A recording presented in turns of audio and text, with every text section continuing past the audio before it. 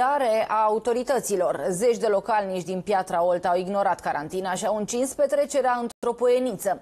Mai mult au ținut să împartă bucuria și cu restul prietenilor, așa că s-au lăudat pe rețelele de socializare. În urma spectacolului oferit în mediul online, petrecăreții au fost vizitați de polițiști.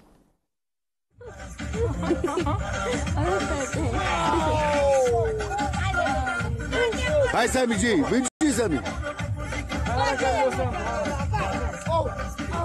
În ciuda restricțiilor, locuitorii din Piatra Olt au dat-o dintr-un chef în altul. Mai mult, petrecăreții și-au transmis petrecerea live pe internet. Cine? Sunt mulți, frate, sunt mulți. Ieșim să bem câte o bere.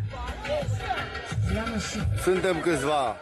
La fel ca scandalagii din Rahova, oamenii au transmis că nu se tem de vreo posibilă intervenție a polițiștilor. Bă, dacă stai speriat, cu dacă luăm oameni de asta e, măcar știm că ne distrăm. Polițiștii olteni s-au autosesizat și au descins în cartier.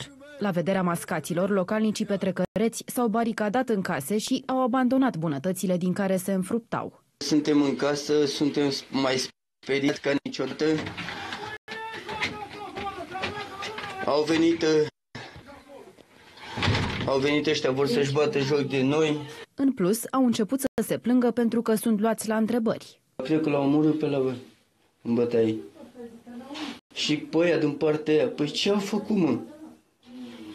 Bă, a nebunit lumea, doamne, doamne. Bă, nu, nu omoară coronavirus lumea, bă, omoară mascații și poliția, bă.